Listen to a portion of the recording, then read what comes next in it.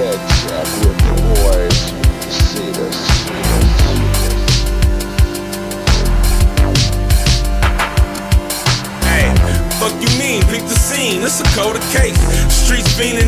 price of dope fluctuates. Live fast, die young, my nigga, this a slower race. Cut the lights off, caught him slipping with some throwaways.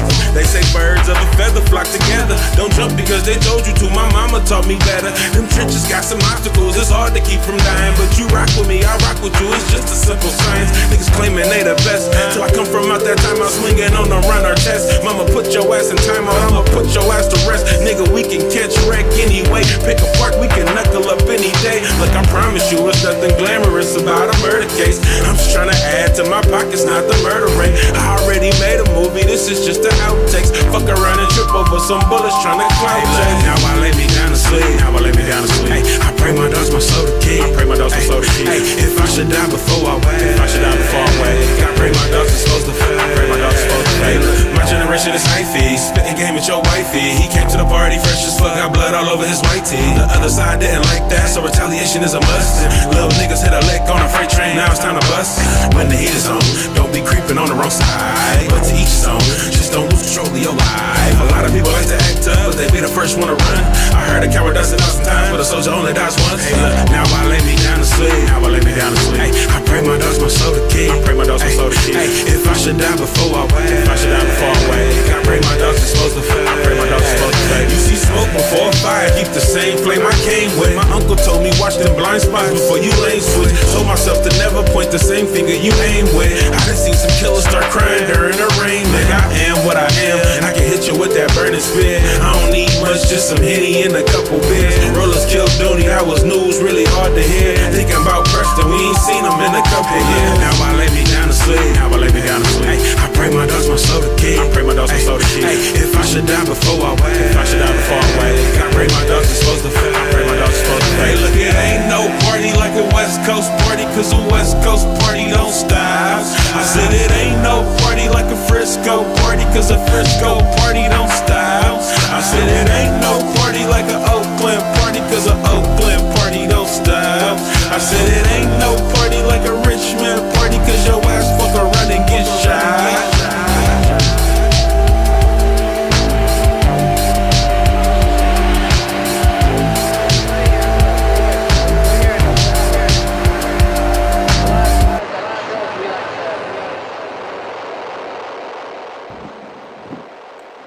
At the top of Mason in San Francisco.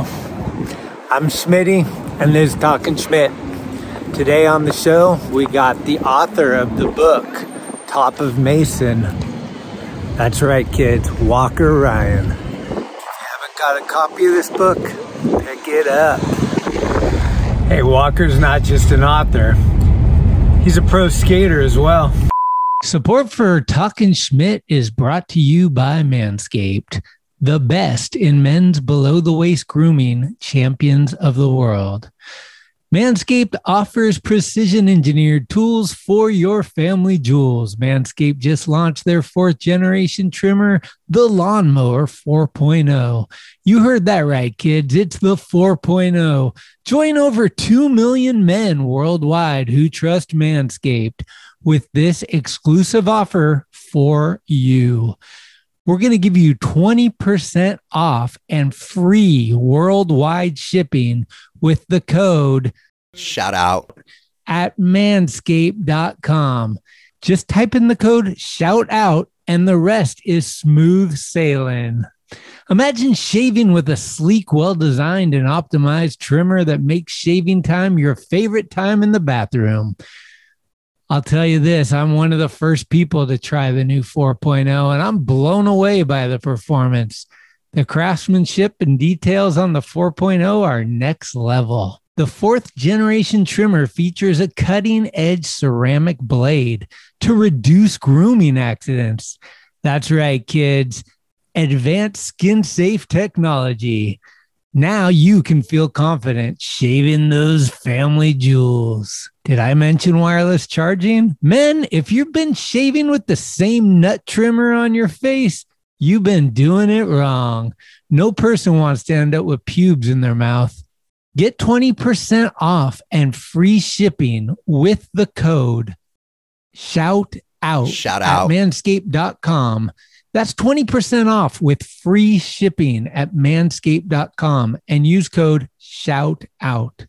Unlock your confidence and always use the right tools for the job with Manscaped. Shout out. All right. It is the Tao of Skateboarding book, Rolling Through Life, a Skateboard Philosophy by the author that brought us Trim Camp, Mr. A.E. Gold. This book is a culmination of eight years of interpretation from the Tao Te Ching. It is written for all the mothers out there who have children who enjoy skateboarding. And I'm going to read one of my favorite verses. Verse six Spirit. The spirit of skateboarding never dies. It is the infinite sidewalk to mysteries within mysteries. It is the seed of yin, the spark of yang, always elusive, endlessly available. This thing's 43 pages. Bryce, you know you need a copy. Get this book. I think you can Google it. It's out on Amazon, but maybe other bookstores. It's a fun read. I read it one afternoon, but you can keep rereading it. The Tao of Skateboarding book, rolling through a skateboard philosophy. Get your copy today. This is Walker Ryan, or this is gonna be a rough one. I'm Walker Ryan, and this is Talking Schmit. It's cool, like tonight is the night. Here we go again. Just give it the old college try, right now. Uh, big dog's in. 96 times, Schmitty. Thanks, Schmitty. We on? Schmitty? Talking Schmit. That's called go to the hospital, bitch. I'd be shitting my pants. man. Your Rolodex is fucking deep. It's about the one, the one, the one. Who is this guy who thinks he's tough shit? What's up? We're tastemakers. Come on, Schmitty, what the fuck?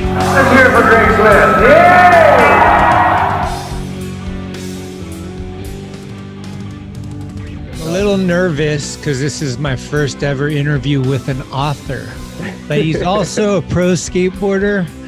He's got his own podcast. I'm calling him the uh, 2021 Satva Leung. He's the entrepreneur of uh, skateboarding. This is Walker Ryan, kids. How you Hell doing? yeah! If only I could frontside nose slide like Satva though. Never been one of my moves. He's the smoothest. If only I could spin records like Satva Leung. Yeah, is he still in the city doing that, He is in the city. eh, or is he doing uh, a million other rad things? Dude, you never know with Satva. Yeah, he's Yeah. always he's just fucking. I went to his house. I did an interview with him, and we did it at his house. And he was telling me how he reduced his record collection a lot, and that was painful. Uh huh. So I'm not sure if he's DJing as much. He has a kid and the whole deal, but uh, Cool. yeah. How are you doing? Good. I am in Bolinas, California right now. Are you living there? Uh, we have this family house um, that we've had, you know, since the 40s basically. And for the first time, the house has internet. Like Bolinas actually as a whole has internet. They've been stuck on like a DSL that they all share, that basically the town shares, and it's been really bad. Uh-huh. At the house, we put in a satellite internet, but it was just garbage. So we could never really come here. My wife works for a tech company, and she, you know, needs to uh, be on Zoom calls all day, basically, and it was just impossible. So for the first time, we we like blocked a month where we could just be here. My sister came out, my mom was here, and we've just been posted, which has been so cool. Damn, that is. Because is. I've been coming here my whole life, like obviously. it's a Um, good town. yeah, it's great, and it's just so fun to actually like spend more than just a kind of a long weekend or something here. Do you So- surf? I don't. I've never gotten in the water here like that, which is really embarrassing because Well, it's get such a coffee, walk out, and look for Max Schaaf. He'll be there. All I need are some tasty waves, cool buzz, and I'm fine. He cruises out here a lot. I, he used to. He used Oh, to that's- go like every like I don't know Monday at eight or something. Like he was on a regiment. That's awesome. Yeah, I know it. I have seriously zero excuse other than like, oh, I don't have a wetsuit. Like, I think there's even a surfboard here that I could probably. It's a good place out. to learn, dude. That's yeah, they look spot. small. They Yeah. look, the waves look small and and they just go protected. straight across the channel. Yeah, although not too protected. There, it is. They do call it the snack bar where all the great whites come and and feed. I I feel like I'm a little scarred because one of our caretakers. We've always had like a live-in caretaker here at the house in Bolinas. Um, right now we have this awesome guy named Keith, who's a bird artist who's been here for 20 something years. But before him was this guy Peter, and he he would do research on great white sharks out on the Farallon Islands. So we had all these like really ghetto uh, home videos of his research, you know, like filming the sharks and stuff. And I think it's just always left an impression on me like this water is sharky. Yeah, north of the Golden Gate, it gets a little sketchy. Yeah. Um, yeah. let's let's dive into your upbringing. Where were you born and raised? So born in Santa Rosa, California, but raised primarily in St. Helena, California, which is a small town in uh, north of Napa, where Okay. I, I we ran in. I ran into you uh, one time on the streets of I think on my street. Yeah, so St. Helena, um, St. Helena, basically until I left for college, and since then I've just kind of been bouncing around, floating. How did you discover skateboarding in St. Helena? So I want to say it was just, um, you know, like the way any kid does. You see someone else doing it, you're like, I want to try it. My friend's older brother had a board, and so we would like play with it. And both my parents were born in San Francisco and like had ties to San Francisco, obviously their their whole lives. They grew they grew up in Marin, but um, they were you know always we were we were always going to the city, and so like I think they just you know got me aboard one year um, for my birthday and you know coupled with some some uh, ftc videos and like there was always access to like uh, you know ftc and Skates on Haight and like some of those shops um, and How did Yeah, you know, know. about FTC? Well i mean i think when you you're you come into the city like as much as my parents did and you're looking up where's a skate shop you know Oh, like, okay. that's where you go No way. um yeah and so it was just an obs- you know like anyone gets into it just an early obsession from uh, you know seven was when i got my first board and you know i just stayed stayed hooked there was a weird little stint though where i didn't have a board for a few months because my father was working off and on in um, the ex-soviet republic of georgia in you know like soviet union yeah. um, he was he was part of a joint venture winemake winemaking uh, joint venture winery. He was a winemaker, okay. and so we would go out there periodically for like three to four months, some extended summer vacations. Essentially, they my, my parents would just take me out of school for a little bit longer, and uh, I left my first skateboard there in Georgia with like the neighborhood kids because it was like we all shared it, and I just I knew they weren't going to get another one, so um, I had like a little stint where I didn't have one, and it's it's funny actually because I'm in the kids' room in the in our family house here. This is my Uh-huh. my old bunk bed, and it was on this floor that like I got a board after that like period. Like I still want to skate, but I just hadn't really, you know, it's like special occasions you got new skateboards, and I got a new one and uh, right here out in the street, like picked it up again. Fuck. Sick. it's oh, like, so yeah. you've had the Bolinas place your whole life. Yeah, so my grandparents moved here, moved to Bolinas in like the 1940s, and this was the house they they got Oh, when they damn. moved here. They came from uh, the Midwest, and yeah, so dude. we we uh, were very fortunate to like keep the family, keep it like as my grandmother, my dad's fam, like my dad kind of lived here, but they he eventually grew up in Marin because I think what happened is they bought this house thinking it was very close to San Francisco, not really realizing the geography that you have to go over like a huge mountain to, to get to normal civilization. And I think in the 40s, Bolinas was just like a super nothing town. Um, so luckily they kept this house because it's a very unique house. It's like a it's it was a was a coal hauling barge, so it's like a barge turned into a house. Like it's very Ah, very unique rad. yeah so i've been, so we've been coming here my whole life but we you know we we rent it to family friends and that's kind of how it pays for itself Who are your dudes? Was Penal Code like being played a lot when you're young, First- and Mike was, like, Carroll's your first- guy, or what? yeah that was like my first video really between that one and trilogy i'm always a little unsure but i'm pretty sure Bobby Puleo who opened penal code was the first like skateboarder i watched and then Oh. just you know obviously the whole video is just incredible especially because you know my parents would go into San Francisco. My my aunt actually lived in the apartments above uh, in the you know uh, EMB Plaza. Oh, so, really? Like, yeah, like so. They we would- discovered have a hideout. but I was like, that was I would roll around there, but it was mainly like watching Penal Code, Pier Seven for me, and like wanting to skate that anytime we'd go into the city, you know. So like it was just so cool to have a video that like I could then go and like see and and try to piece together the insanity of of skateboard tricks, you know, because I I didn't really have like a crew of skaters in my town until I was like middle school. Mhm. So in the early years, it was just me watching those videos and then just trying to figure out how to do kickflips and the whole thing. So like Lavar and Marcus and Oh, yeah. Henry and Yeah, I'd say I'd say Lavar was like my number one favorite because of his switch skating and just the confusion I had as a little kid, not knowing is he regular, or is he goofy? Like I don't get it, but like yeah, the whole uh, so good. everything happening there in that era of skating was like so magical. yeah, and uh, I'm lucky that those videos had such incredible music for me. I feel like it was just like it not only influenced my take on skating, but just music for the rest of my my life. yeah. Those were those were the days. Um, Yeah. who was like? Do you remember meeting somebody for the first time? Like actually seeing somebody in person? That For was, sure, like Karl was one of them.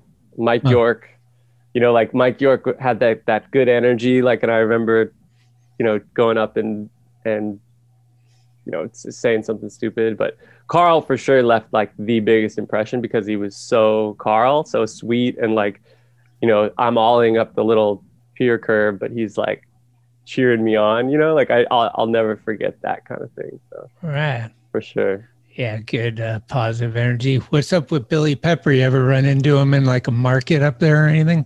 so that's what's kind of funny. Like I obviously knew Billy Pepper was the guy in from Napa, but I only saw him one time at a skate at the Napa Park, Oh, and it was like such an embarrassing interaction because I I like asked. I did the thing that kids do where you're like, do the trick I saw in the video. Like I saw him skate that park in the four and one commercial and like asked him to do tricks and he had to just be like, nah, dude, not gonna not gonna do that. yeah. Oh, but I'd, I'd always hear stories about Billy Pepper and like how he could he could have like a gnarly temper and if, if you were at the park when he showed up like you, you everyone would kind of like clear out like I've always heard different eras of of of Billy but I I never really knew him like I we have mutual friends obviously and and uh, right. there's yeah I don't have personal uh, encounters Did you skate that park a bunch, the Napa Park? not really I was like It's not that rad. hater. I was kind of a hater of it from a young age, you know. Like I was more partial to Santa Rosa Park, like Piner. oh, So like I, there would be more of an excuse for us to go to Santa Rosa for like Costco runs or just some, you know, like what's know what that like? Forty minutes? How far? Yeah, about like forty minutes. Yeah. Yeah. you go through Calistoga and then over the hill. Mhm. Um, so and I just love that park. I feel like that park opened so many like possibilities and like so before I met people at like Pierce, you know, like fanned out on pros at Pier Seven, it was Tony Trujillo and random sightings at uh at Santa Rosa that really like at a young young age I remember. Ah, Mohawk. Probably, yeah. Just, like just methods or whatever. He was he could just do every kind of fly out trick. It was so sick to watch him skate that. Yeah. Oh my God. Uh, and so then when does like this become more than just a toy? Like, oh, I'm getting kind of good at this, or I want to pursue this like to more of a level. Yeah, well, probably Santa Rosa Park when I won my first competition at 10 years old, the Castle under 10, 10 and unders. There was one other person in my age division, and I and I beat him out. So I was like, you know what? There's there's hope. head to me. head. I got this. Were you on No, the I course at the same time? Yeah, I think it was one of those jam sessions, you know, and like I could do, I could early grab higher out of the out of the one of the small bowls, probably. No way. Um, no, so I don't I don't know. I feel like I was obsessed with the idea of getting sponsored from that age, like 10. Like I was like sending sponsor tapes to Spitfire and just like like you know, terrible like doing frontside flips off a curb cut type videos, but like, you know, trying and dreaming. But I never got sponsored until 14. It was played against sports in San Rafael. Do you remember that skate shop? Like I know like, Play It Again Sports. Uh, no, I don't know about the one in San Rafael. Did, yeah, that location was funny because they had a uh, they had a like all Play It Again Sports. They had you they would like buy used product, and so Uh-huh. they, a lot of skaters from the city would come out and like sell their Mm, boards. You know, like rather than just giving them to someone at the at the Sure. Spot, they could probably make like three or four dollars off like a, each one in a stack. You know, so like Uh-huh. that was uh, a shop I would go to pro- really when we'd come out here visit family in Marin, and so I gave them a tape and they sponsored me, and that actually led to my my first board sponsor, which was Ron Allen's Energy. So Ron Allen was like the really the first person to like give me hope and uh, hook me up.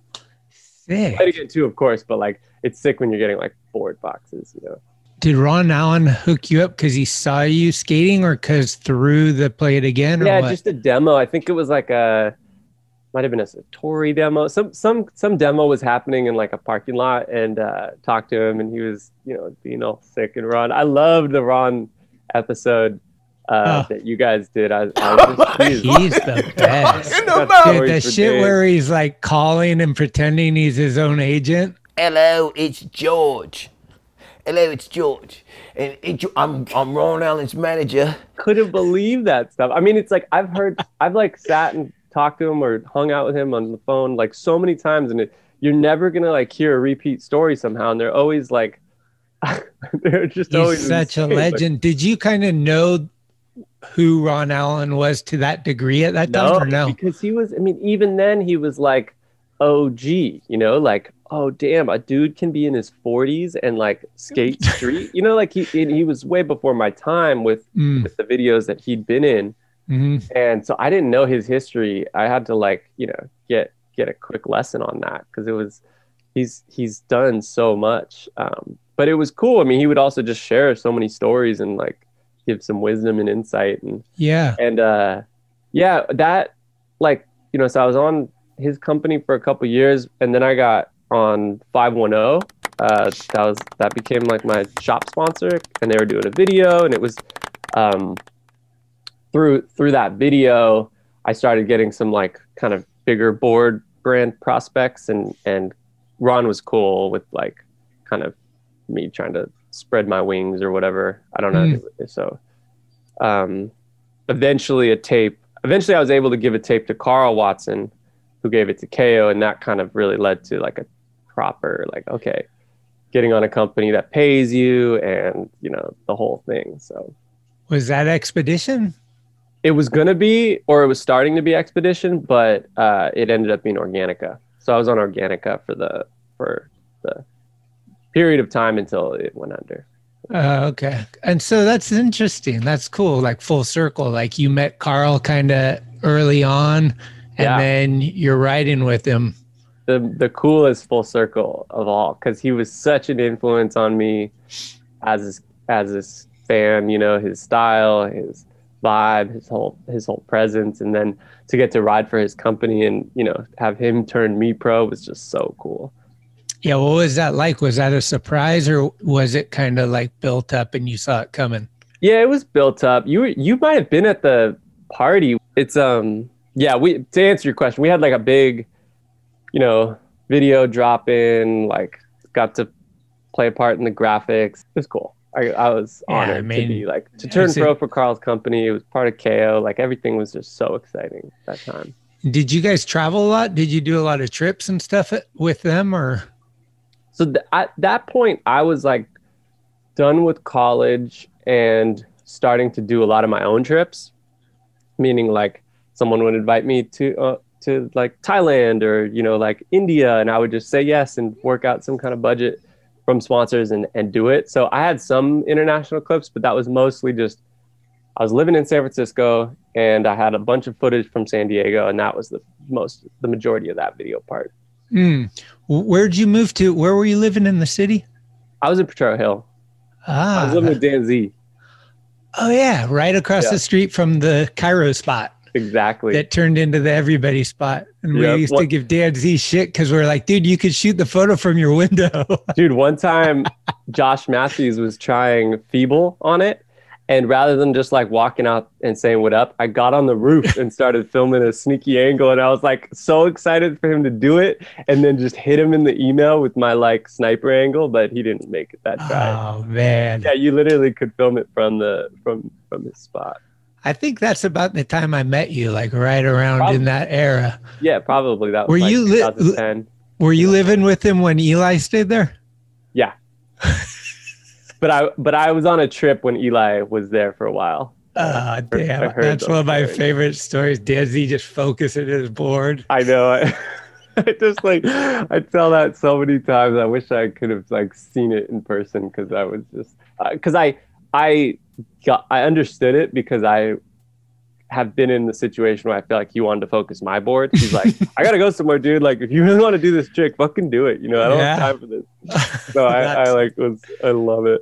Ah, that's amazing. So what happened with uh the board company? It did it just there wasn't enough funds or Yeah, I mean, I, I, I'll never really know, but basically, KO was was pretty, I feel like the budgets were spread pretty thin at one point, and the focus was DGK, and DGK I think had long carried most of the other brands. Mhm. Um, and at one point, I think it was just too hard to maintain them all, and they had to plug the pull the plug. So we it was a very cordial like conversation leading up. Like Karl was a, it was Miles. We had just turned Miles Silvas pro. We had actually built a pretty sick team. Josh Matthews, Eli Reed was on. We still had Quim, Adelmo. Like it was happening, and Miles was like you know the phenom that Karl Yeah. had been hooking up since he was a little 13 year old. Was like now this man pro. Just and uh, yeah, it was just unfortunate timing. You know, I think they Mm. just like couldn't quite couldn't quite maintain it with the way people wanted or expected up until that point. So everyone kind of went their separate ways. who went first? Rob Welsh or Organika? Rob Welsh stayed for a while, dude. Rob Welsh hung in there because Yeah, expedition they, they kept they kept expedition going for another year or two. Uh, he was working at the plant for a minute. Dude, he was doing a lot. I think he was like doing all the graphics, editing videos. Like that was a Rob I was always so surprised to see. Like when I would go into the headquarters and be like, Rob's the the guy making the, Uh-huh. making the boards. Yeah. Was, And then was at cool. night he's at the combi with Sal skating vert. You're like, who is this guy? I'm so confused. Woo Welsh is who I grew up loving. This is not him. What is this? I love Rob. If there's any way that we can uh, nurture him or coach him or whatever we have to do, like to get him to come on the podcast, he Has said he was not, gonna, he never made it onto yours, right? uh, uh, he told me he's like 69 i think. He's like when i Mhm. first started doing it, he's like i'll do 69 i was like on episode 7 and i was like okay i'm gonna do 69 episodes then. Like i wasn't Yeah. even planning to go that long. And then i was like i'm gonna go- and then i got to 68 and he started having like a little Got nervous, cold anxiety or something. Yeah. He Dude, started I- thinking about that cab back nose blunt and he's like i don't want to do that again. I can't relive it. Yeah, it's so funny you say that because I had listened to that. I had listened to you mention that in one of your podcasts, and I was like, "Whoa, that's so funny! Like, has Rob never done a podcast?" And then I looked, and I was like, I couldn't find him on any podcast. And we're doing this fitness thing, and we had a sub, we had a special episode dedicated to foam rolling, and every every the way we're doing our podcast is it's all like skate injury related. So my friend who's a physical therapist, also a skater, skate nerd, we talk about skating and injuries and rehab, like from injuries with skaters. You know, that's so that's like the free podcast we do. And we're like, dude, we're gonna talk about foam rolling, we have to have Rob Welsh. There's no skater in the industry more influential when it comes to foam rolling than Rob Welsh. And he agreed. He was like, Oh, that sounds chill. And I was like, No way. I can't I don't want to jinx it, but I think Yeah. we're gonna get him. Don't and talk I about sat it. there, I sat there with the Zoom link for like two hours and he just never showed. he had like straight up agreed. I was like, I, I don't want to like, I don't want to assume this is happening, but I hope it's happening. And it didn't happen. And then he's like, oh, Ah. sorry, something came up. And I'm like, yeah, I, I, I know what happened there. He's just, Well, his excuse is, and I think it's a modest one, but it's also probably a little anxiety driven, is nobody wants to hear him talk about anything. And I'm like, quite the contrary, my friend. The opposite, Quite the yeah. contrary. Yeah. I We all want to hear it. Yeah. And so, well, we're all dude. we're all begging for the woo to come through at Yep. any time. I told him the door's always open, and even if it's not, open it up because let's go. no, I, my door is closed. We, we, he had his chance. He had his window. Yeah, It's Shine over. me once, shame on you. yeah. Yeah. Okay. So then, what what happened after the um Organika? So after Organika, I floated in the no sponsorship thing for a while. Um, You put out your own part, kind of not sponsored, right? Or was I'm- that? Yeah, I'm always putting out my own parts and shit. Yeah, there was one though with Thrasher that I did because it was gonna be my. It, I was had started filming for like a circa pro model shoe video, so I Right. I'd gotten like a budget to go around some cool parts of Asia. Like we just had all this footage, and I still wanted to do something with it. So that was sort of my own funded thing. Like I paid the filmers, I got the you know sorted the. So I, I didn't edit it. My friend Patrick Wallner edited it Mhm. but uh yeah thrasher put that one out which was sick but that was still when i was on organika um it was uh, organika ended and then deluxe was hooking me up with boards and then um i got an offer from like SOVRN to ride for their little their little program that they had going um mike taylor and Barra, like there was some I don't really know, like I still don't really know who exactly owns the company now. Um there was like kind of a I feel like Does it rhyme with Eric? no, it's not owned by the barracks, which a lot Oh. of people think. Um okay. they kind of like were running the show out of there for a little while. So that's who I'm still riding for, SOVRN. So it's like we got a pretty small team. Um, Who, who is it? We got Nate Greenwood. He's the other pro. Oh. Um, and then we got uh, this dude Justin Damer, Ben Campbell. We got a little Am squad too. Um, David Enger, and uh, yeah, it's cool. I mean, it's just like a they have like a really consistent and awesome art direction that it's mostly run by uh, this filmer Ryan and this photographer Alex, who they just kill it, and it's kind of in their it's their like little passion project, and they put out the videos and and all the con um, all the art direction. And, and yeah, so that's who I've been riding for since. They've been they've been hooking me up. Sick. What's up with Mikey Taylor? So Mikey's like moved into basically running like a I don't want to call it a real estate company. It's basically like an investment project. It seems like, he's the Tony Robbins of skateboarding, and and what's Yeah. driving me crazy. And I like the guy. This Yeah. isn't uh, derogatory, really, except for the fact that it's like that fucking song you can't get out of your head. Every time I go on Instagram, he's on my like.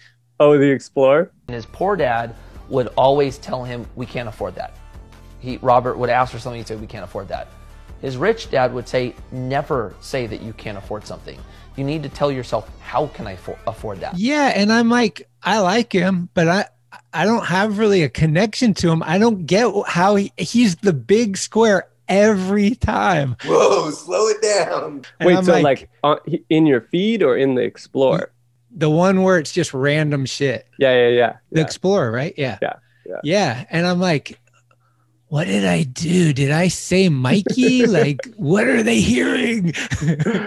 I bet it's like I bet it's something to do with your age or demographic that you skate and like what he's doing is targeting people who are interested in, you know, building financial freedom and he's basically like trying to make it so that he he can share I don't want to call it like investment advice, but like ways to make your money sort of work for you and like strategies he's learned over the years, which is cool. Like some, sometimes I'm definitely like, oh, this is a little, this is a little TikToky or like it's it's not my like cup of tea, but the information he's trying to put out there is like, you know, what kind of like investment trends are happening, and and his his whole thing is like, um, is it has a company where you are an accredited investor, you can put money into his fund, and then they make they may have like real estate projects happening, and you can like get returns on your- Okay.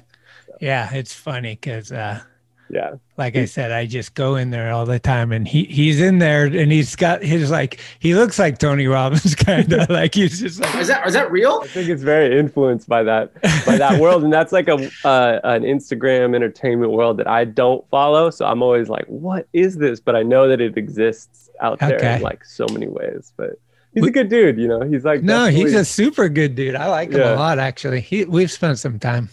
That's cool. And now, another first impression with Austin Taylor Camfouche. All right, I think I met Walker 12 years ago down in uh, San Diego, and we actually met the day that uh, Brandon Turner did that nollie board slide down Patrick Henry and almost stuck it. So we were out skating with those guys, and we got done skating, went back to the house that we were staying at, little skate house, and uh, Walker and our buddy Ryan Harris were just, I guess, coming down from the bay. Ryan, I think, was going to stay at this house that I was at, and Walker was probably going to stay at his apartment or at school. I don't know what the hell was going on, but uh, that's the first time that I met Walker, and my first impressions of the guy were just that he was a total motivated skate rat who was super smart, well spoken, fun to be around, uh, always wanting to film always stoked about making a video and like just always down to let you hop in the car and take you out skating and on spots and to the missions and yeah man glad that i met walker when i did because we've been skating together and kicking it ever since dude Um, 2021. The question for 2021 is: Yeah. Are you more likely to be seen on TikTok, or are you more likely to be seen walking down the street with a white claw? I can fortunately say neither. The White Claw is more likely just for the fact that someone might hand me one, but I actually can't drink them. Like I, they give me crazy headaches if I have more than uh, if I have sweet. one and like another another beverage like a beer or something like that. So I'm gonna I'm gonna say neither. Like I still have not made a TikTok. I tried to make one for my brand and I just was too overwhelmed. I'm like, this is just this is over this is oversaturation. I don't even know how to take this in this, Yeah. this stream of of media. But I, you know, I I, can was honestly say I've never had one. I stopped drinking before it came out. oh Wh- White Claw, Yeah, and I've been on TikTok. I gotta, as I gotta say it, I've been on there. I did an interview with Lil Dre, nice. and then after he told me about it, I went on there and I tried to do it, and I was Mhm. like, this. This old guy on TikTok trying to do Oh. a fucking Lil Little Dre video dance. was not probably. Oh, I'm glad you tried though. You know, it's Yeah. it's it's further than I've gone with that. It's Yeah. it's tough. Yeah, I mean, I don't. I I just can't. I can't get it get into the mindset to do it. You know, I thought like, all right, I should just adapt. People are doing it. There's there's cool ways to promote some shit I'm doing, but I just I couldn't get, get there. If I was a little savvier, I would I would hire a 19 year old to to do Uh, it for me for my there- for old friends. That's what we all need. We need that intern kid that just exactly. wants to please you with all his genius. Yeah. Uh, Who I do have a natural for, you know. Yeah, exactly. Like they, oh, I was born, this thing already existed. Like, Yeah. and you're like, whoa. Um, I got to ask you a question about the uh, Napa St. Helena area. Cool. Um, I'm intrigued because I have never gone to Indian Springs, Oh, but I hear it's the best. Is there somewhere better? Well, so it's funny you say Indian Springs because that was like the it wasn't quite public, but it was so affordable. It was almost public for like a swimming pool. That's like where I learned how to swim. No way. Cal- Calistoga. Indian it's like a Springs. natural saltwater pool or something, right? Well, I don't know what it is now. So I couldn't I couldn't tell you. Like it used to Okay. just be this like very shallow pool that was like cheap to to go swim at. But I don't know what it is now. And I'm Hmm. not dude, I it's really embarrassing. I've never done the, The retreat, natural hot springs stuff. Like it's just a little I mean, my wife and I got a wedding gift to go to one of them, Solage.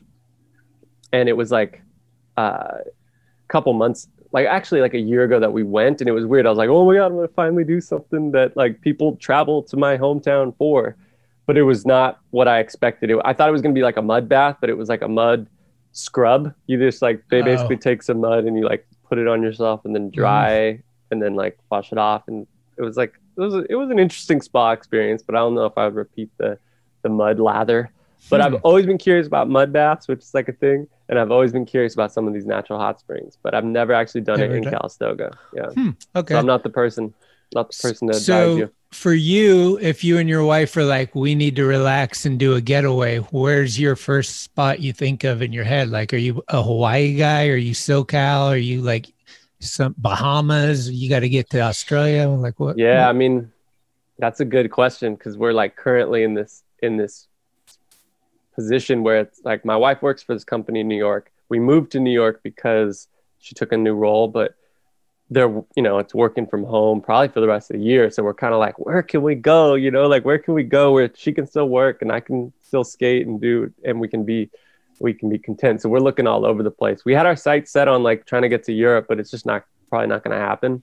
Mhm. Um, but yeah, I mean, we lived in LA for two years, almost three actually, and we went to this spot in Palm Springs that was pretty nice for that, for what you're describing. This like, whoa, this is so chill. Like, let's just kind of disconnect and relax. Like, but I wouldn't say we're Palm Springs people. You know, that's like Yeah. a little. I can't. I can't.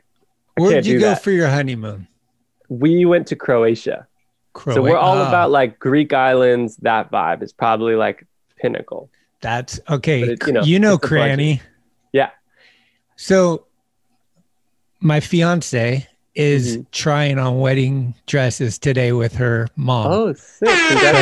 Yeah. I'm trying to think of the honeymoon, and one of my good friends, Alex Horn, happens to dabble in very fine travel with his lovely Mhm. wife frequently. So I'm like, dude, Maldives, like, where do I go? He's like, no, no, no, Greece for sure. He's Greece. like, I got you hooked up. I uh, will fit.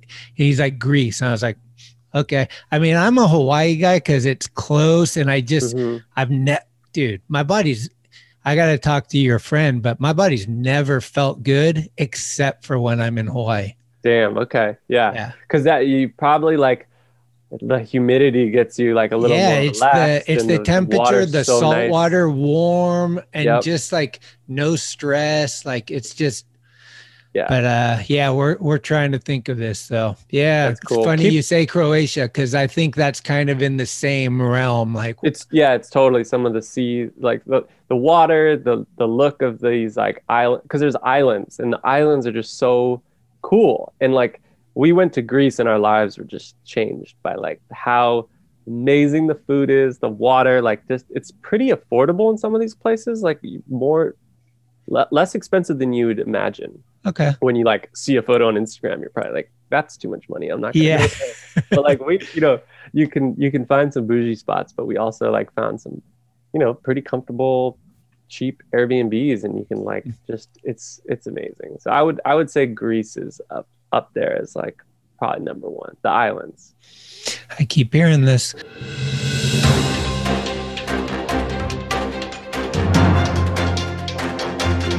All right, we're going to go live just blocks away from the Seine River in Paris, France, to our old friend, Walker Ryan, who's got a giveaway for you.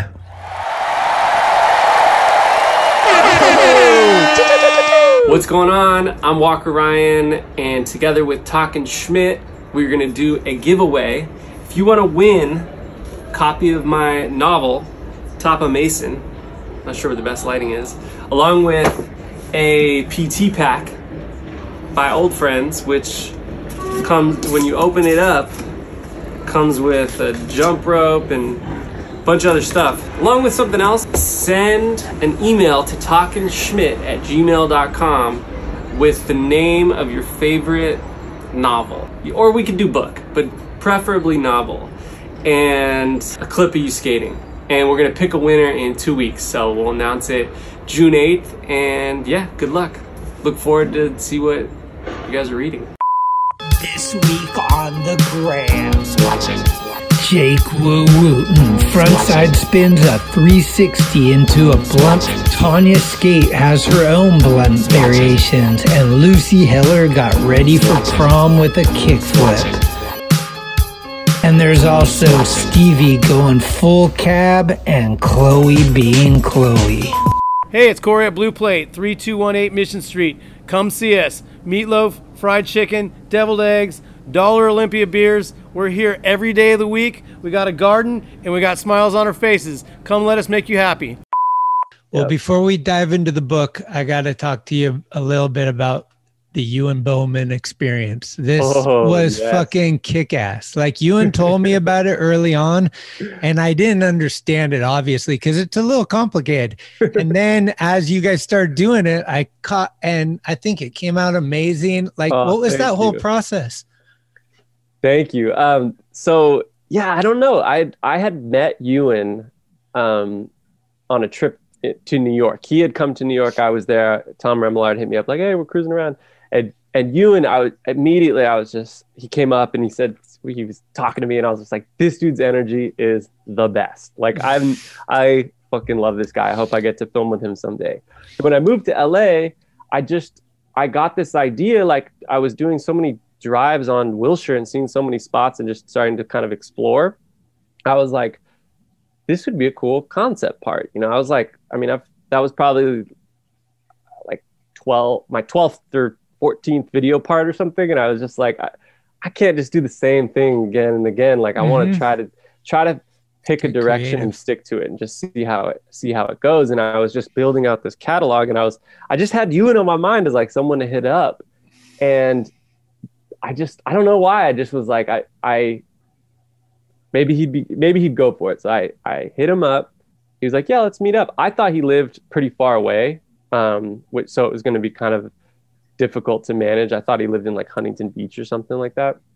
Turned out he lived off Wilshire, literally like one block off Wilshire in on my side of LA too, which is like LA is a is a maze and a and a and a, a mess when you're trying to like coordinate.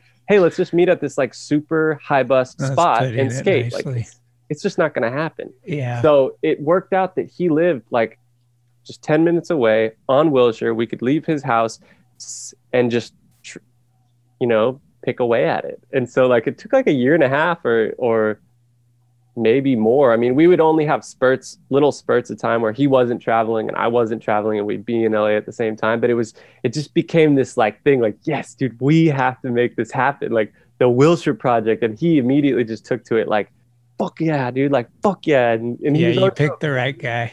he was always so appreciative of me like thank you for like picking me and i'm like dude you're thank you for wanting to film me you're the legend who like filmed all the videos i grew up watching like i just it was so fun to just log hours. And and honestly the craziest thing about that project was realizing at the end we had only ever skated he'd only there was never like a session. It was always just missions. Two of hmm. us filming. Like sometimes we'd have spotters but they weren't like skating a spot with me. It was like Sebo Walker my friend Kyle like watching for cars. Always just the two of us. He filmed every single clip. And I've never had that with a video project before where it was just like only the two of us making it happen. And it was a lot of work. And his motivation and dedication like 100% made it happen because he was down to skate a spot at like six in the morning which a lot of filmers would be like dude i'm trying to chill today. It's sunday. Like i got this is my mood morning at least. Yeah. but not you and he's just down for it. So it was So for people that sick. So for people that don't know, it was basically the concept was you're skating down Wilshire and hitting shit all the way through.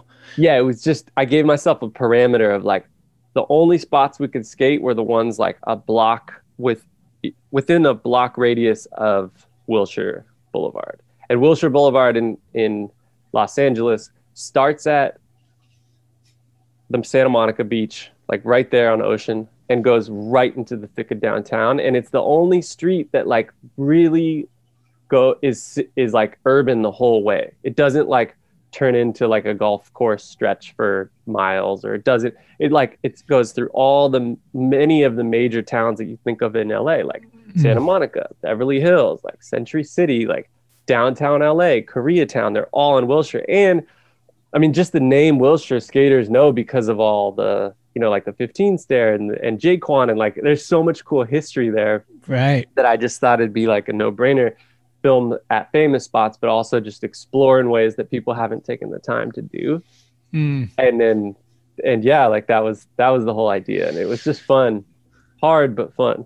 So from the beginning, this is the question I have. Did you kind of have it all mapped out already? Like we're gonna start at this time of the day, skate these spots, and gradually go through and and even to the point that did you know what tricks you were gonna do where, or did it kind of just evolve on the fly more so? Like, oh, that was sick, I got that. Maybe I can do this next time, or how did yeah, it go? to- total combination. I mean, I I had like a list of you know 50 spots that we could skate. And but i you know it would take like all right getting there and be like you know what? This isn't really a spot. Like this isn't gonna work. But look across the street there's this like little bump over thing. Like what do we what do we why don't we skate that? You know so that's how it would go. It'd be like Okay. i would have the guide of like my ideas and the ideas rarely came to fruition because they were like just you know i'm skating in in my imagination and then i get you get there and you're like sorry dude this is gonna happen.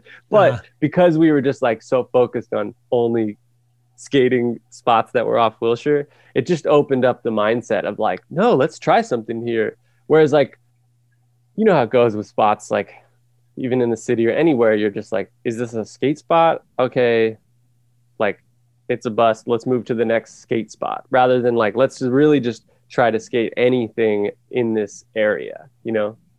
So it, was, it made it it made it fun and there was a lot of there was a lot of shit i didn't get because we would just it was these are super heavily guarded security building. Yeah. you know such a bust and some were just these beautiful spots that we could never get more than five minutes at or or i could never get a trick that was like worthy for a part you know i could like get something quick but not something good so Right. there's a lot that like didn't go down but it was it was cool i'm psyched on the way it Yeah, no, and it's such a cool idea. Um, it, it, I thought it came together rad. It was Thanks. cool for me to just have that perspective too, because Ewan shared with me kind of the beginning stages of the idea when it wasn't real, and then I saw it evolve, and then saw the final, and I'm Yep. like, "You guys crushed it. That was killer." yeah Yeah. yeah and it was cool we got to use a ray barbee song too like Yeah.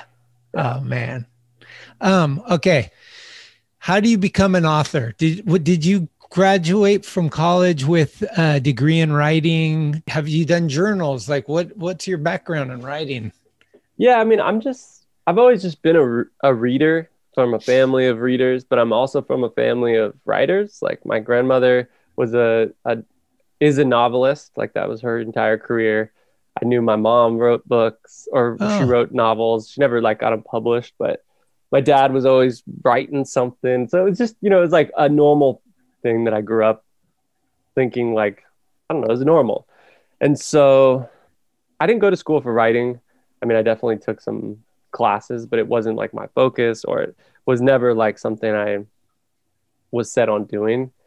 It was just a while after college that I I feel like I just started reading for fun a lot more. In college, like you're just sort of overwhelmed by books you have to read for your classes that it's hard to find any time to read anything for fun. And I just got more into reading fiction and I just started thinking about an idea that that could involve skating. And so I just I don't know, I just basically Dove in. one day started p- trying it and just kind of stuck with it. And the you know, in the same way you just sort of stick with a video part. You're like, all right, Yeah.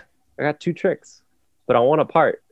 Might take three years, but I'm just gonna I'm just gonna stick with it. So Well, so that's you kind of the story of uh you did it, man. That's But dude, what do you what do you think? I'm I'm super curious. You're you're I'm psyched because you're the first person I've done a little like interview with who's actually read it. So I'm psyched. Well, it's the first book I've read in 2021. And I yeah, literally saved the final chapter for today. So I just finished it. Sick. And I got to be honest, I'm not a reader really. Like, I, th- I don't know. I always say this, but I've read a lot of books. I, I've lived a lot of years. So Yeah. if I read 50 books, that's only one a year. you know, but uh, no, I thought it was cool, man. Um, what I would say, um, one of the first things I would say is I was talking to my friend Evan Becker, and he's like, "You got to tell him that. That's a that's a compliment." And um, what I would say is it kept my attention. I Nice. I I don't read big chunks, and I read slowly, so that whole process takes. I love a book that has small chapters, which yours did. And um, of course, skateboarding and San Francisco is kind of a no brainer, right? Yeah. Um, I do have to admit that I kind of saw the dev development. Oh, nice. Uh, I kind of saw that coming. I kind of Yeah. in the back of my mind, I don't know why or how, but my fiance is really good at she's an insane reader and Mm-hmm. she will watch TV shows and she'll already know the whole thing. Like Yep. within the first half hour, she'll be like, Oh, we don't need to watch this series because it's da da da. You're like, could you just turn your brain off for a second? but uh she's helped me kind of like see how constructing. Yeah. Um, no, but really cool, dude. And more so, congratulations on just writing a book. It seems like I mean, anyone could do it, but not anyone can get one published and then have people read it and admire it. And I think there was some, there was a couple issues I had. There was like a minor, I think you called Oracle Park AT&T, which we're going to let slide because I didn't know when you wrote it. So there was like that. yes, I need But, uh, I need a couple of those like extra extra Yeah. streets fact checking. Yeah. But I'm wondering how long did it take you to complete from beginning to end? Yeah, so I st- I started the idea I started working on the idea in like 2014, I want to say. Okay. And then it was basically like 2017 that it was like, all right, this is done. And then I just showed it to people, you know, got it, uh, got notes, feedback. All right, what do you think? All right, worked on it. Just basically revised and edited it for like three more years, basically. So does your family, since they kind of did that kind of stuff, do they have connections of people that you can hand it to that are going to give you solid advice to like kind of tighten it up, or did you No, I just mean, do? honestly, it was mostly my family and family friends who who helped with that kind of stuff. Okay. And um and like I should say, like I didn't get I didn't get this properly published. Like this is a self-publishing thing. I'm basically printing it and selling it like a zine, you know. Oh no um, way! But I did, yeah, no. So it was, it's, I did get it like professionally copy edited, so it was clean and like made, you know, a lot of people put eyes on it and like gave some checks. But yeah, no, I didn't get like a publisher to put it out. I've just, I just did it myself through through old friends. Um, but dude.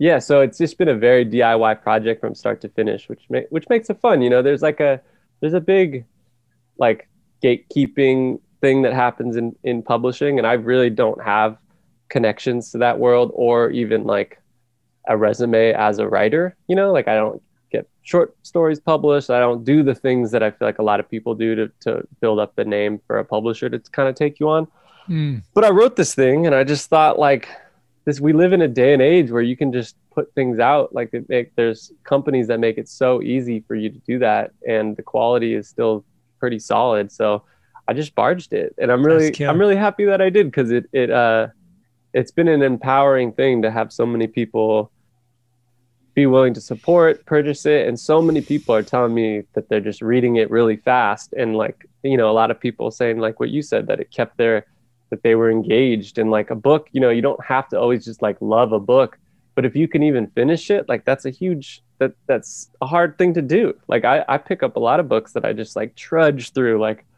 oh like i don't want to finish this i'm just not interested Are you? and so But will are you the type of person that once you start, you have to finish it, or will you just put it away and say, "I'm not going to read this"? usually there's a few that i just like will give up on because it just i'm halfway through and i'm realizing i just don't care at all Yeah. um so it, it, it happens but i usually i usually just have to finish it um, Uh, this is probably a really tough question, but do you have like a top three of books of all time that you've read fiction wise that like yeah i mean it's like it's like asking your favorite skater you know it'll change day to day um, Uh. off the top of my head i would always i would always recommend people read east of eden i think that is like a steinbeck book that everyone should read john irving is a fantastic author they're they're dense books and they're hard to get through but he's so funny hmm, easier reads there's this author tom perrotta who i really i really like he writes a lot of books that um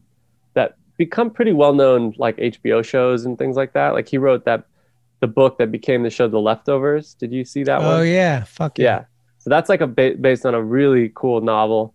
He also wrote Mrs. Fletcher, which was another HBO series that came out, and uh, he's all his books are great. So I'll, I'll I'll leave it at those three. I got Kurt Vonnegut, Tom Robbins, and who wrote Tom Sawyer and Huckleberry Finn. Why am I blanking? Tom Mark Twain. Yeah, there we go. That's my top three. Cool. Good I'm answers. I gotta I gotta jump back into the Huck Finn. That's Huck, I. I loved Huck Finn. I haven't really read Steinbeck too much. Mm, I think I, would- read one of his books ever, Yeah. maybe. Yeah. I need. I mean, he's local. Like, Yeah. you go down to Cannery Row. You know, you're in Monterey. Like, it's like I don't know. The history's read. So I got some specifics about the book. I want to ask you. Let's go into it, dude. I love this. Yeah. Okay. Uh, there's this character named Gary. Yeah. Right. How much Wheatberry influence? You know, I don't really know Wheatberry. I feel like I feel like there's a tiny bit solely because of you know like his presence at at skate parks like Soma and stuff. Like he's Uh-huh. definitely pun- he definitely punched out one of my friends who was just happened to be at Soma one day. so like, uh, but I don't have Oh, too no, much personal. Yeah, just like a run by a drive by drive by sock. Um, but really, it's it's you know it's a combination of of characters and people I've known in my in my life. You know, people who've had some some serious bouts with addiction, who've sort of entered that world in the tenderloin that is um I mean on you know on one hand like so devastating and sad but on the other hand so intriguing and fascinating like how does that world work when you're sort of in it hustling like the the Garrett character so it was definitely a composite like Wheatberry is more of a I, I want to say like a coincidence because I don't really like have that much like I know he's he's a big part of San Francisco scene, but like my firsthand encounters aren't huge, aren't like Sure. too paired with him. Um, but it is, you know, that's like a a situation that's similar. Yeah. Um, but yeah, I mean, it's just sort of imagining like a skater who was almost pro, who you know got basically hooked on a bunch of drugs and just is is now loving. And and it's weird to say this, but sort of like enjoying the city hustle of like the tenderloin, which can which can happen, and I've seen I've seen happen to people I know. Yeah. So would you say, is it fair to say that most of the references you're using were kind of, you've lived vicariously through those, or had you had some of those personally? No, I those mean, are a lot of stories told to me. Yeah. Okay. A lot of like stories from from friends who've been through it who were who were willing to share and then who were will allow, like basically allowed me to put it into this story and I would talk to them like, "Hey, like I have this storyline and it kind of involves a character who's been through these experiences. Like, would you read it? Would you let me know what you what you think if you're comfortable with me putting it out there?" And that that sort of uh, feedback to keep it keep it rooted in some truth because it's not a world um, or a set of experiences that I've had personally. You know, Okay. And and you've been married for how long? I got married in 2019, so about a year and a half. So without getting a divorce, did you have some tough relationships prior to her that broke your heart? I mean, we all have. I'm, I'm the- guessing, unless she's your childhood sweetheart. But uh, no, yeah, like like um, any some of that know, stuff I thought was pretty like on point. You could, yeah. I mean, with we've the all Ellen and the ex, you know, the longest relationship uh, the guy had ever had, and how he was just dwelling on that same person and all those things. I was like, this is. It felt really real.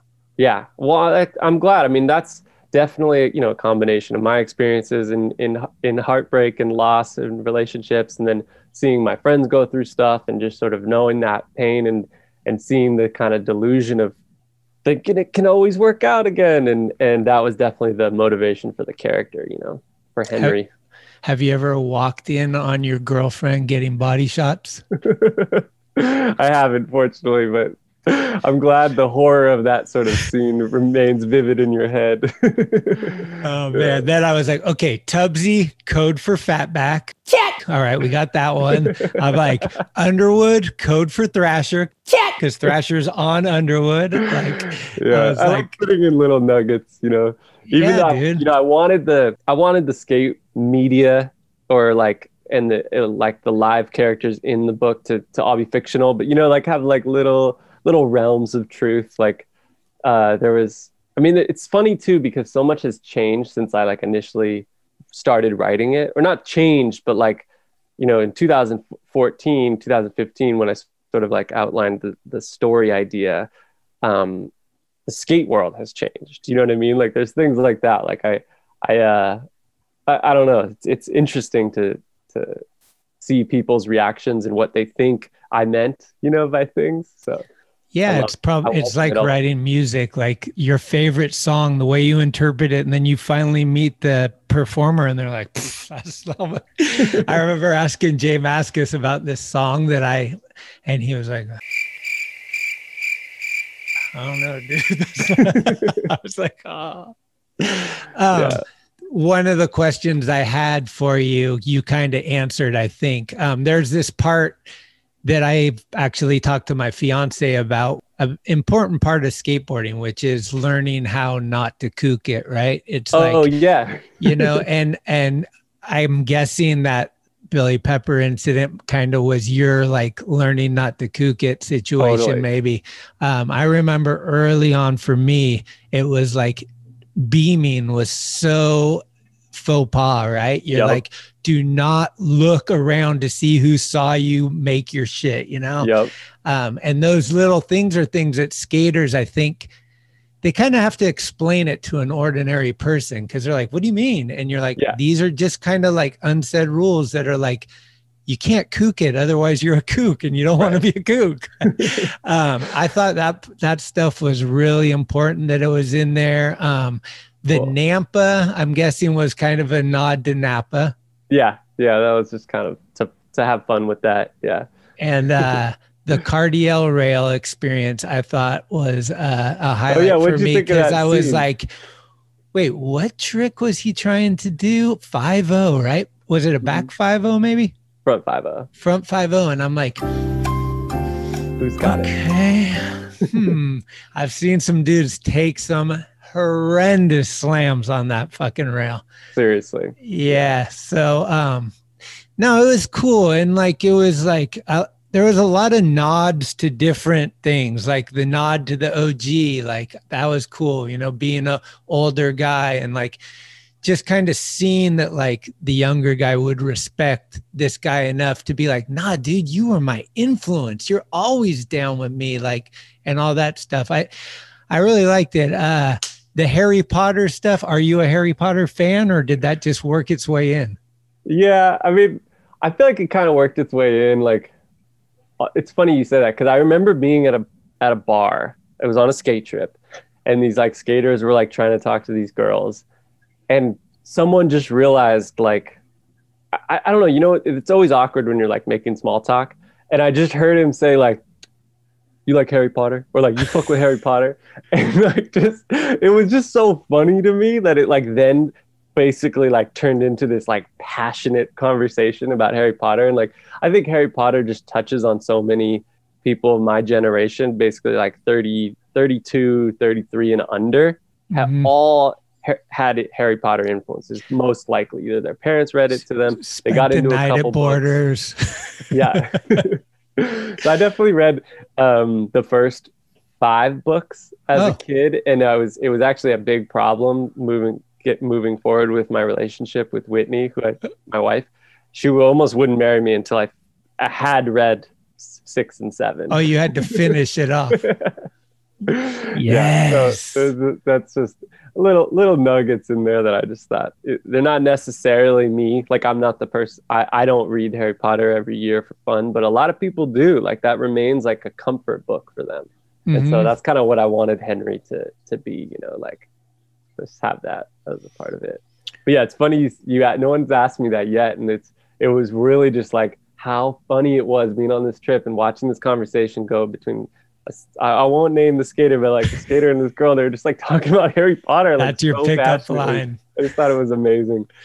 Oh man. Um, have you gotten any like weird beef or negative feedback from somebody that like I don't know, somebody was bummed that you were talking about this and you I don't know, anything like that? No, I haven't. I haven't gotten anything like that, and I'm, I, I you know, I kind of expect it, and Yeah, because uh, we're I'm- in a very critical world where people like to hate, or I've Yeah. been talking about Schadenfreude for the last year and a half. How a lot of people seem to really take pleasure in other people's downfalls, which is Mhm. weird, but that's been trendy. As I was reading it, I was like, because I know you pretty well, and I'm just like, this dude's never smoked crack. I'm pretty sure this dude's never smoked crack.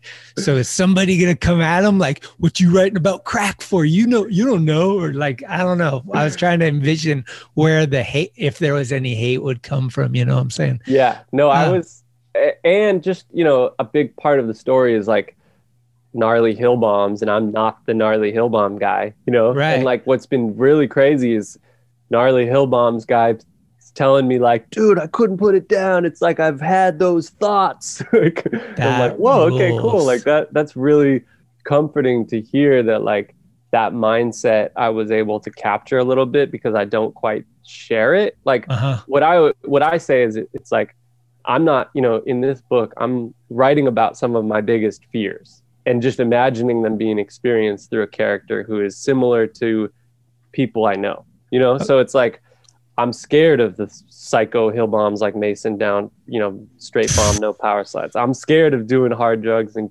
and crack and all those things and Sure. and and those relationships that you know break your heart and crush you. Like those are I'm a I'm a more cautious like guarded person kind of and I just I wanted to write a story about a character that was not those things and you know the feedback I'm getting which is so comforting and like relieving because I was nervous putting it out you know? It's like you put out so much of yourself and it you don't know what people are to how they're to respond and like the fact that people are reading it and saying like damn like I find this really relatable I'm like okay whew, phew like that's cool like that's what I wanted you know? I wanted it to be a story that because my whole my whole goal was like I've never read a book or even seen a movie really for that matter that I, I think captures our weird little industry in a way that's authentic you know? In a way that in a way that's like all right this character is a skateboarder but this is not a story about like making the team and like getting the gold. And you know it's just it's it's Yeah, that rad, in the thrashing, gleaming the yeah, it's a- cube. Like,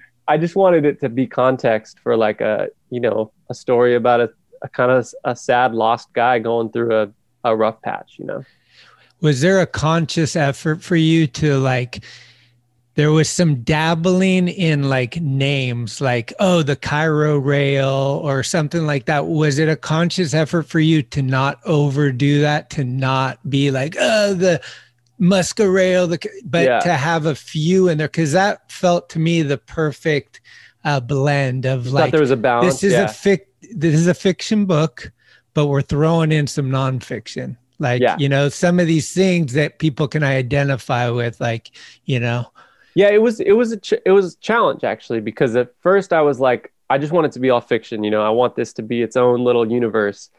But i don't know i just i i kept thinking like there's no way to describe this spot without the history that is is real you know? So i kind of wanted to make like a parallel universe you know or like a divergence. It's like all right in 2010 something changed and you know like that's what we're working from. But that old history is shared you know like the 90s and early 2000s Right. is shared. So there's like it's rooted in in something people can relate to. And it has people have told me it's it's it was distracting for them you know? It's like you're in this you're in this fictional world and then all of a sudden i'm talking about the line mike carroll did and it's like what? Or i'm mentioning you know like skates like grant taylor or raven and they're like what? Like that's so I, I just wanted there to be the blend because i felt like it was easiest to keep it rooted in in what like skaters will know. And if a non-skater reads it they can maybe google that or they can like look into it. And it was really interesting like with the copy editor she knew nothing about skating but she was very thorough with making sure everything like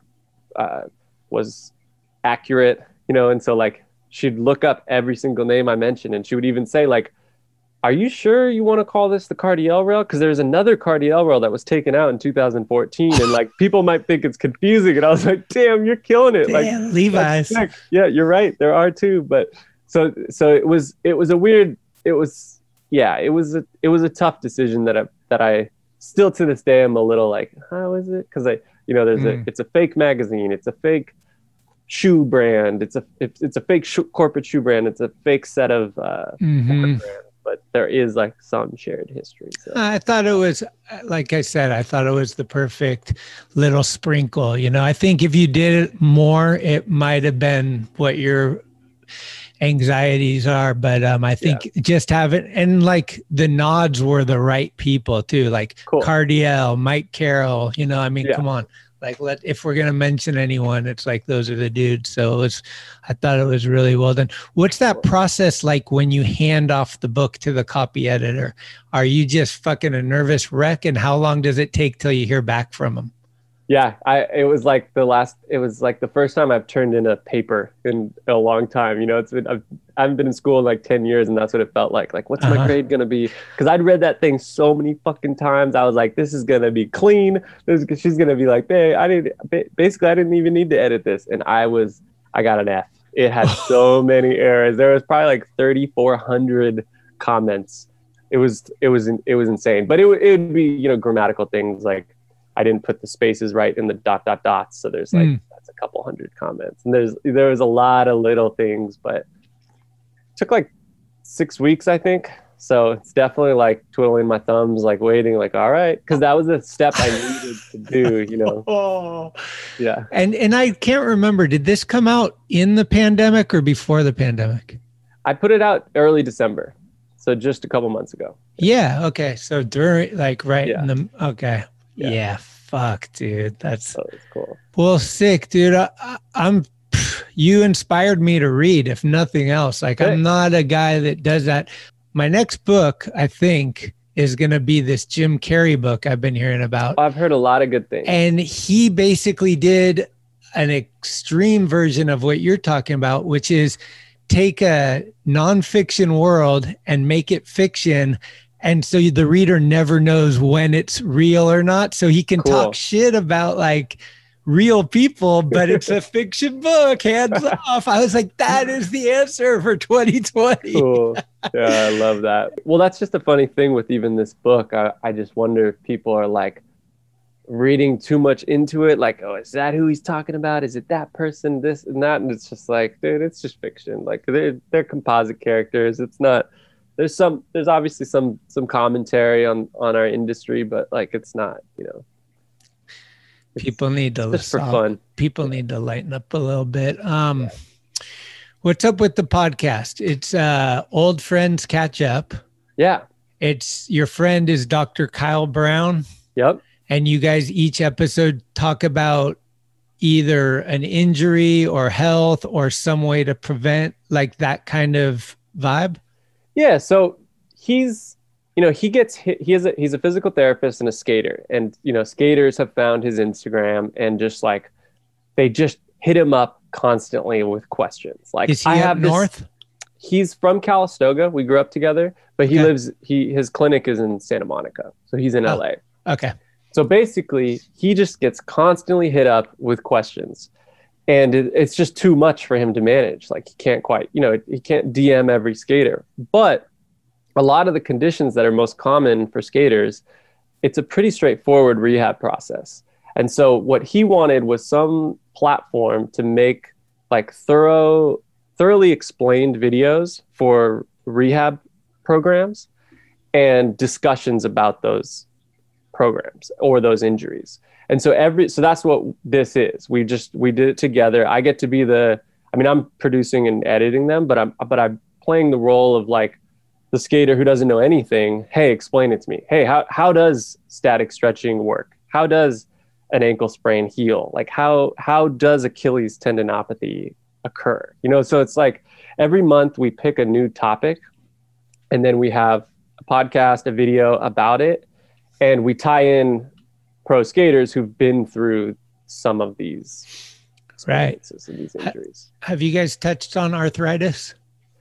Well, not like osteoarthritis or Uh, any because of we, it, we really. haven't to answer your question we haven't so far we've we've done patellofemoral pain which is like kneecap pain we've done ankle sprains we've done achilles tendinopathy we just did plantar fasciitis have you ever had that Mm-mm. it's like a heel pain thing arch of your foot thing. Is it like And a so- hot pocket? no it's different. It's like overuse injuries. Mm. so it's a lot of it's a lot of those injuries that like especially like up 30 and up but even you know like i feel like 25 and up is like an old man in skateboarding. But you just start to get these things you know and you're like what the fuck is it? It's taking two months and i'm not skating still. Like what do i do and in his practice as a physical therapist it's a lot of at home stuff you know? It's just do these calf raises. Do this stretch this way. And so we make a video that explains like how to do those exercises and then we discuss it. And so Okay. it's it's cool. Yeah Is, is he down for supplements and homeopathics, or is he more like a utilize your body type? definitely a utilize your body and stretch correctly strengthen he's big on strengthening so most of the stuff we do will come with like a program that is strengthening a certain part of your body that will like complement the injured area so All right. How long do you think you're gonna go? Well, we have we, we just filmed a new batch, so I have like 10 months of content to edit. So that's kind of what I'm doing most of the time is just editing these videos and and these little podcasts. Huh. So I, I got to go at least another 10 months, but hopefully we'll film another batch. I mean, ideally, you know, we want to build a catalog that someone could subscribe to and just be like, all right, yeah, I kind of have this thing. I want to work on it. I, I kind of want to work on some strengthening. I kind of want to learn about foam rolling. And we'll just ah. Right. sort of always be expanding that catalog. Rad, And so the, dude. the free podcast we do, like our last guest was Corey Duffel, which was tight because we were focusing on plantar fasciitis, and he had like a crazy plantar in plantar I've had injury. 43 surgeries. he could talk for. you- We could have had him on for ten hours to talk about injuries. Yeah. But uh, um, yeah, and then we had so before, and then we had Dave Abear who talked about this like insane, like jumping out of a window, busting his heel, and that Dude, kind the of hill in. bomb slam he took was Oh my so gnar. Fuck. Dave Avar's a nut. He's the man. I love Uh. You've probably been uh, on some sessions with him, right? Back, uh, back, but Yeah. not in a while. I got. Sorry, Dave, but last time I saw you, you were so blackout drunk in the back of a car. Me And and, like, I'm never gonna hang out with you again. Like, "Ah." and then the, actually, I saw him one time after that, and apparently he said he was sober. So I was like, "Good for you, man." Yeah. But uh, no, I love Dave. He's a rad yeah. dude. He's he's one guy who read the book, who was like, "All right, dude, kind of nailed it. You kind of you got some of that stuff right, you know." Sick, dude. Do you think there's gonna be um an audio version? yeah, I'm actually working on on getting a getting that produced right now. No way. is kind of cool. Yeah. So wow, I'm hoping that I'm not sure when that will be ready, but that will be really exciting. Are you gonna have different people reading it, or one person read it, or what? I'll have one voice actor doing. It. Will it be you or someone no, else? no, I'm not qualified to do that kind of that Uh-huh. kind of work. Fortunately, I have a really good friend. I don't want to put him on blast yet in case he doesn't finish it because they're like like all the things I'm doing with Who else?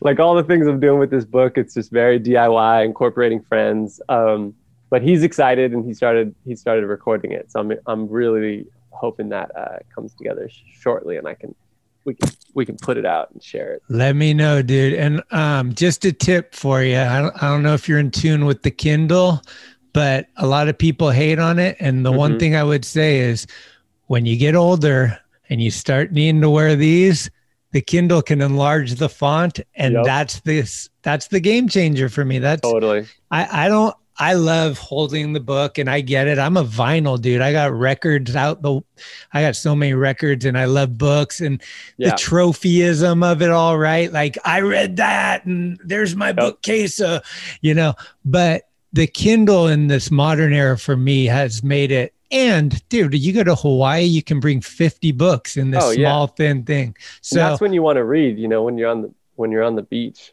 And Yeah. that's like that's like my number one favorite type of book, and that's what I wanted to write. Like I, this was not like a, you know, a dense literary thing. I wanted to write something that you could read on read on the beach on a Kindle, and it is actually available on Kindle. I have made it so you can you can you can download it. now he tells me what the fuck. no, you needed that one for the shelf, dude. You needed the trophy. Nah, yeah, this is going on the shelf for sure. Have you read Scott Bourne or uh who's the other the guy fucking Nate Sherwood? Selling skateboards, not trends, since 2012. Edge Skateboard Shop is low skated here in Cedar Rapids, Iowa. If you need anything, come see us in person, because we don't do any of that online bullshit. Because I put some comment, I was like, I'm gonna have Walker on to talk about the book. He's like, I wrote books too, have me on. And uh have you read any of these other skaters stuff? Yeah, so I have read one of Nate Sherwood's books actually. He wrote this little short novel that it was like I think technically a novella that was pretty fun. I liked it. It didn't have anything to do with skating. It was like a totally different type of book, but it was good. Um, I can't get a. co- I've tried to get a copy of Scott Bourne's book, but they're like few and Same. far between. I saw one for like two hundred bucks, and I was like, uh, I don't know. Oh, really? I think Like Toad on- has on one, and I was thinking about borrowing it just to read it. I think that that's schmitting. But uh, Cool. yeah, I've been looking. I can't find them. I really want to read it because it's also a San Francisco story. It all it doesn't have anything to do with skating. Apparently, it's just like yeah, his kind of adventures and but actually, it does. it does. Well, like- there's some people involved that are kind of like what we talked about. Mm, like, okay, wait, is that Hansi Driscoll? Oh, sure, you know, like I don't think it's Hansi, but I'm just saying, like, might be Speaking of, somebody. speaking of him, he gave me a free set of wheels at Santa Rosa Park back when I was a little kid. What a ruler! Not so much give it to me, but like, hey, dude, looks like you need some wheels. I left some in the in the grass outside the park. If you want some, and I took them, and I'm like, oh my god, these are like brand new. Were they adrenaline? I don't know. I mean, they were used, you know, but Oh, I'll. I'll, I'll never forget that feeling of like, damn, free stuff from a pro. Like, You just influenced somebody. All right. Well, I got this thing that I just came up with. Like Jake Phelps, he used to always say fucking Kyle Walker Ryan, Kyle Walker Ryan, Kyle Walker Ryan. Today I took it to the next extreme and I'm oh, saying shit. Kyle Walker Ryan Spencer Hamilton. Beat that motherfucker. oh, Phelps would be rolling in his grave, dude. yes. What do you think Jake would have thought of the book? Would it would it be, would it have been too soft? He would have. He's not in it. It sucks.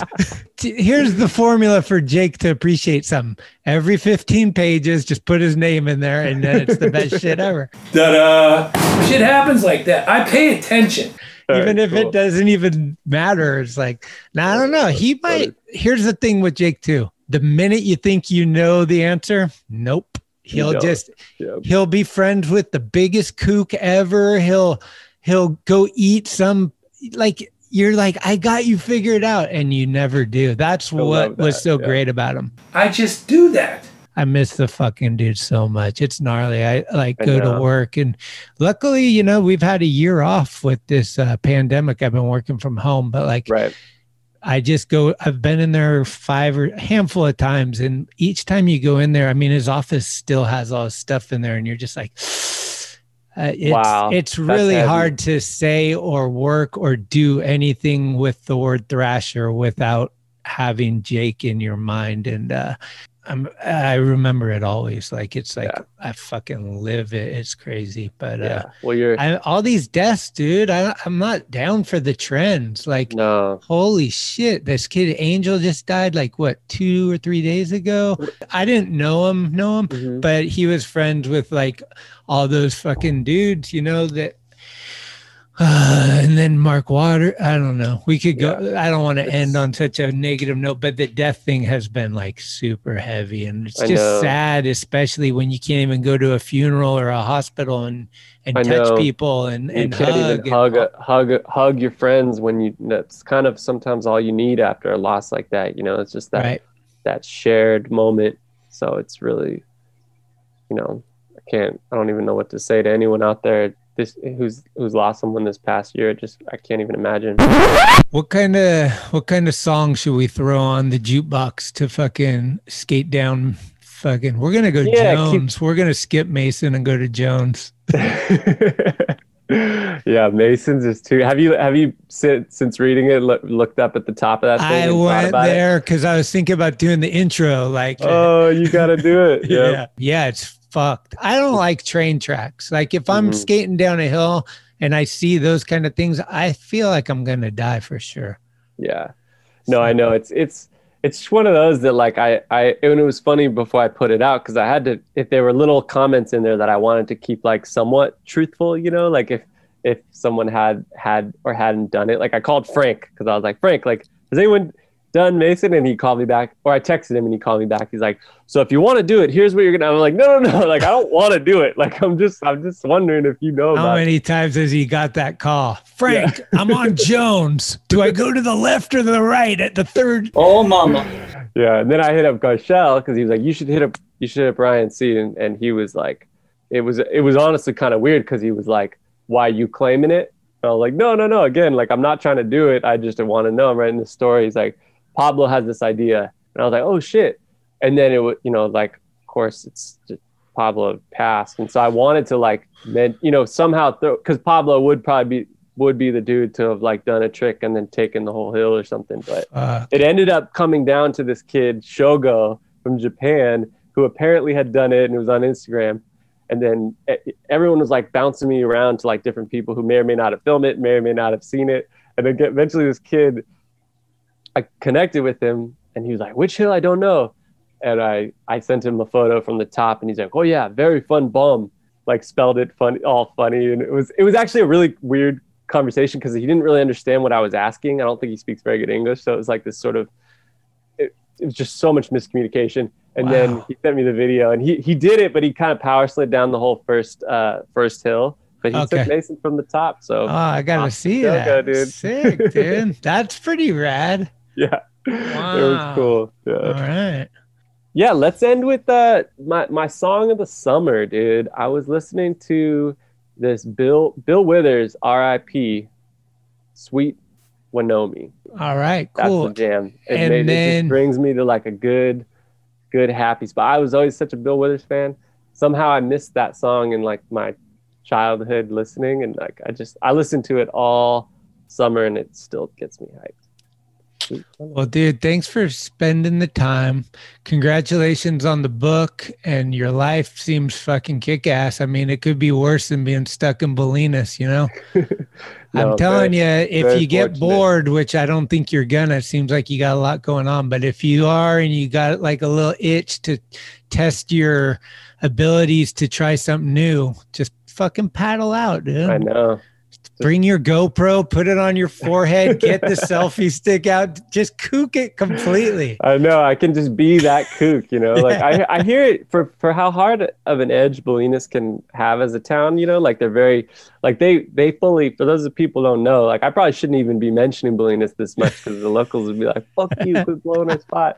Um, but they used to tear straight up tear out the signs, so there was you would never see a sign on any state road that said Bolinas.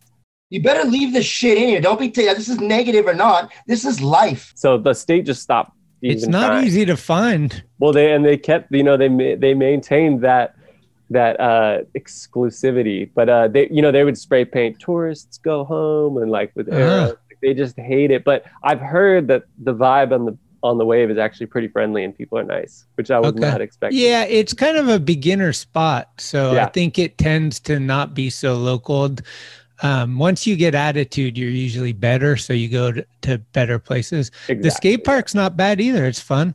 Oh, I love the park, and they just they just added some smaller noping little like they've added some stuff to it. yeah, again, It sucks. Just kidding, they're not. Don't come. but it's so fun. Yeah. So Oh, fuck, I'm dude. having a good, good little California stint, avoiding the cold in New York for now. So it's good. Yeah.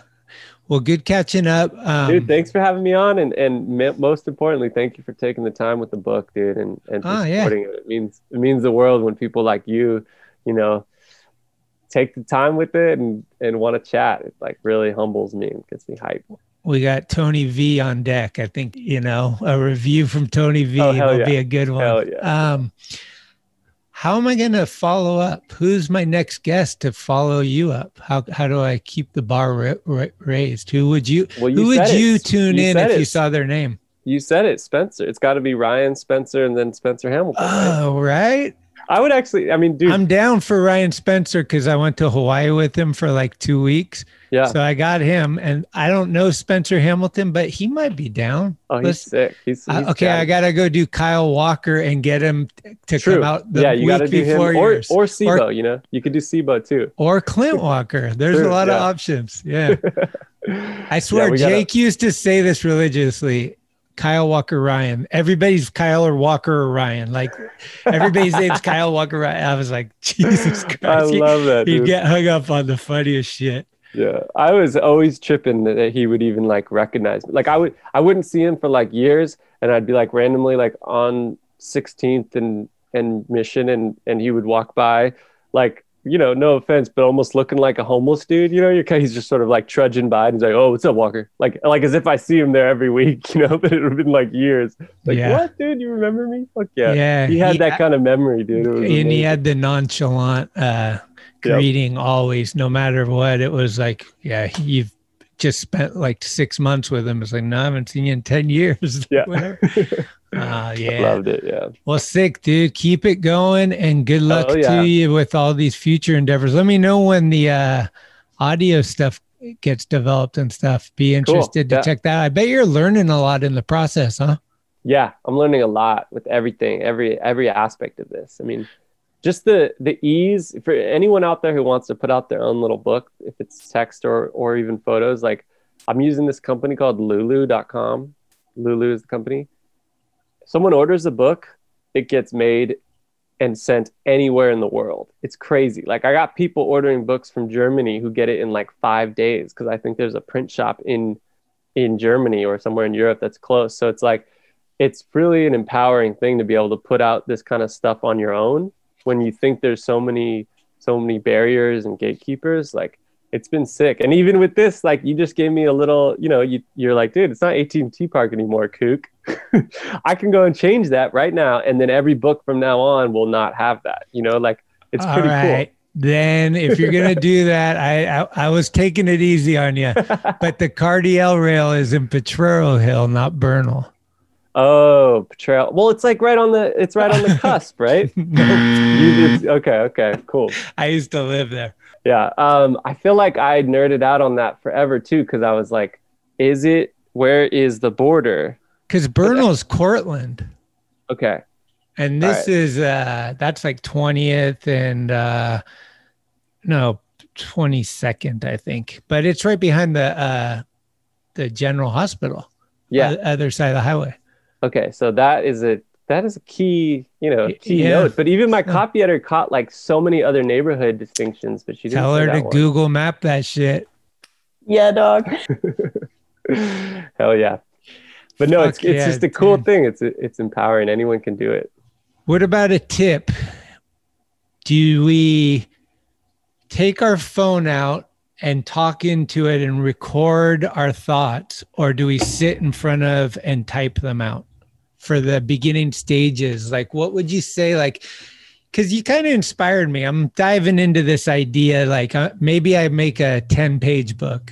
Yeah. make but you know, short but like, hey, ba ba ba ba, and then I see it, and then later I'm like, that might inspire me to keep the next section going, or it might be a dud. I don't know, but like, how do you feel about it? Do you talk into it to get your thoughts out quicker, or do you actually type them out? I'm I'm usually longhand first. So like I'm, Oh, I'm writing. writing something in a journal. Yeah. Okay. Like a, like like an idea, you know, like or an outline for the steps that I want the story to go. Like bullet And- points. Yeah, kind of, or just like whatever little little thoughts come first. And usually that's just more accessible for me. I hate typing and I don't talk into things. Like I don't Okay. really put I, I don't know, it's just not how my my process goes. So I'll Uh-huh. write some write a little note kind of like just to get it out of my head. I, I sometimes don't even read it. Sometimes I will if, if it's for like a reference, but it sort of helps lock in the idea in my head. And then honestly, most of the process is just in my in my head until I have a moment to like write it down. Like I find that putting together this story helped me help like my sleeping problems. Like I could just if I was going to sleep and I'm stressing about life and all my my like real life problems, if I just think about the story and what I want to write in the morning or where I, where I, the character's at, that helps me just like relax, and go to sleep. It's your and then I woke spot. up. What's that? It's your happy spot. Kinda, yeah. It's just like a, a place to let the, and then I feel like in your dreams, maybe this, you know, plot problems can sort of like resolve themselves and little things like that. And then I just write early in the morning, and then that's kind of, you know, if I ever have downtime, I'm just sort of thinking about it. But I don't know. Everyone's different. You know, I feel like the the talking into your phone could be good, little voice memos, but there's so much time required to like then listen again. You know, I feel like No, no, it prints it. oh that type. Oh, cool. Yeah.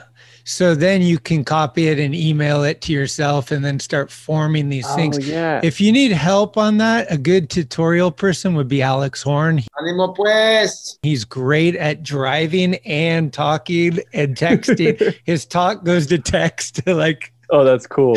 he's my favorite. Yeah, I've never, I've never, I've not quite evolved enough for that. I, I haven't tried it. Shit. Well, uh, cool, man. I might be hitting you up if I take this process the next step further. Do I might, dude. Yeah, you know, it. Get some, get some little ideas out there, man. Why not? yeah. Okay. Well, Withers it is, and fucking used Bill to be my homie. know Now me. you act like Sweet Wanomi. Thanks for having me, man. This Thank you, man. Good fun. catching up. Cheers. Yeah. Have a good one. All right, later, bro. See ya.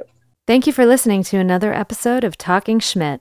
You can subscribe to the show on iTunes, Anchor, Spotify, or anywhere you get your podcasts. When you subscribe, you'll get notifications every Tuesday of new episodes the minute they become available. Also, please leave reviews and a five star rating. Fuck are they, dude? I need I need my Talkin' Schmit, man. It's the best way to help the show grow. All of the episodes will always remain free, but if you would like to help support the show, you can do so at talkinschmit.com, where you can pick up some merchandise like t shirts, beanies, hats, and stickers. The website has an entire archive of all of the episodes, with extra photos and videos. Email us with any suggestions, comments, or ways that the show may have improved your life at talkinschmit at gmail.com. All interviews are conducted, edited, and produced by Schmitty. The intro music is Mary's Cross by the band Nature. Very special shout out goes to the executive director, Cheryl Camisa. Shout out. Love it! This is Talkin' Schmit, where the Rolodex is deep, but the conversation is deeper.